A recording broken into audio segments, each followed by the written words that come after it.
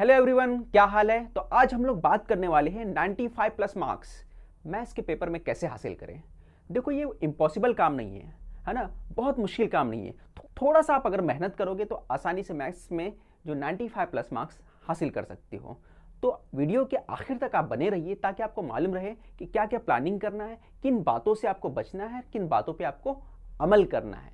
ठीक है? तो हम लोग देखते हैं सबसे पहले हमें मालूम होना चाहिए कि मैथ्स का पेपर पैटर्न क्या है। है ना? उसके हिसाब से हम प्लानिंग कर सकते हैं। तो स्टार्ट करते हैं। आप सभी को मालूम होगा पेपर पैटर्न में बच्चों कि पेपर पैटर्न कैसा रहता है। सबसे पहले जो पहला क्वेश्चन आता है है ना? पहले क्वेश्चन में क्या होता है? सबको मालूम है मल्टीपल चॉइस क्वेश्चन पूछता है।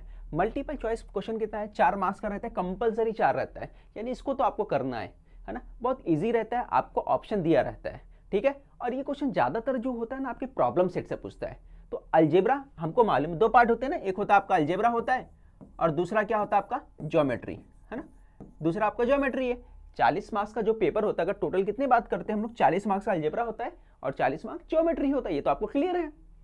अब अगर हम लोग बात कर लेते हैं कि देखो, पहला क्वेश्चन जो होता है क्वेश्चन नंबर वन का जो ए होता है मल्टीपल चॉइस क्वेश्चन का हो गया। अब बी जो होता है, उसमें भी आपको कितने क्वेश्चन करने रहते हैं? उसमें भी आपको चार क्वेश्चन करने रहते हैं। वो भी चार क्वेश्चन जो रहता है, ठीक है? अब वो भी चारों के चारों कंपलसरी रहता है। एक भी आपको छोड़ना नहीं रहता है। क्लियर ये भी एक मार्क्स का रहता है, बहुत आसान क्वेश्चन रहता है। ठीक है? फिर हम लोग बात करते हैं क्वेश्चन नंबर दो। तो क्वेश्चन नंबर दो में जो एक्टिविटीज़ क्वेश्चन रहते हैं, तीन में से कोई दो करना रहता है, ठीक है? तो तीन में से कोई दो, तीनों करते हैं ना तो कोई दो करना रहेगा। फिर उसके बाद अगर हम लोग बात कर लेते हैं एक्टिविटी वाला, के बाद हम लोग कोई क्वेश्चन नंबर बी जो रहेगा तो पाँच क्वेश्चन में से आपको सिर्फ़ कितना करना है? सिर्फ़ चार क्वेश्चन करना है, ठीक है? तो उसमें आठ मार्क्स आपको मिलेगा, यानी हर क्वेश्चन पे आपको दो मार्क्स मिलेगा।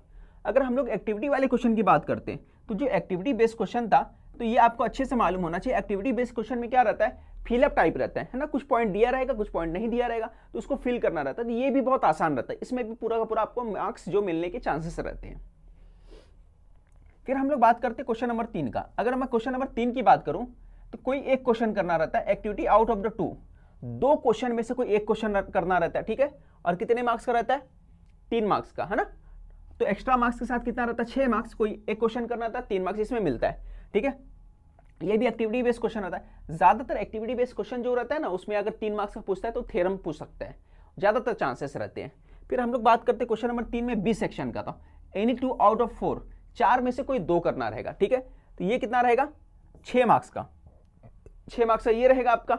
चार में से दो करना रहेगा। अगर चारों करोगे दोबारा, यानी कि आप देख रहे हो कि चार ही क्वेश्चन है, ठीक है? चार में से सिर्फ़ दो करना है। दो नहीं करोगे तो भी चलेगा। सिर्फ़ दो करना है, वो आसानी से तुम कर सकते हो। फिर उसके बाद देखो, तुम्हारा असल प्रॉब्लम कहाँ स्टार्ट होता है?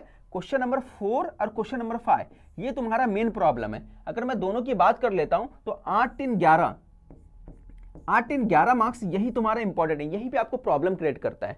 अगर ये दोनों इसके ऊपर वाली अगर मैं बात कर लूँ तो ये दो क्वेश्चन जो होता है ये कहाँ से आता है? ये तीन मार्क्स का क्वेश्चन रहता है। ये तीन मार्क्स का क्वेश्चन ज़्यादातर जो होता है आपके एक्सरसाइज का जो जो भी एक्सरसाइज रहता है, जो भी प्रैक्टिस सेट होता है, उसके आखिर वाले जो क्वेश्चन होते हैं ना, जो बड़े बड़े क्वेश्चन होते हैं वर्ड प्रॉब्लम्स वगैरह लीनियर इक्वेशन में जो वर्ड प्रॉब्लम है, या फिर अर्थमेटिक प्रोग्रेशन में जो वर्ड प्रॉब्लम वहीं से पूछा जाता है।